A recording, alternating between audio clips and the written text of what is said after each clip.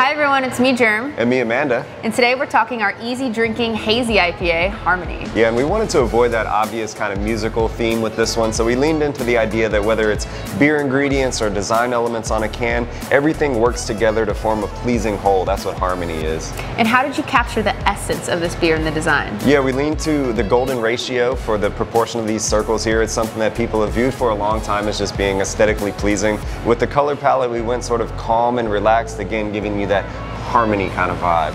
And if you flip this can around, you can see it's a little bit different than the rest. Yeah, it's actually the only can we've ever done where the two sides are unique. So they're similar but different. They've got kind of a yin yang vibe going on. And as you turn the can around, you see that they work together seamlessly. Again, harmony.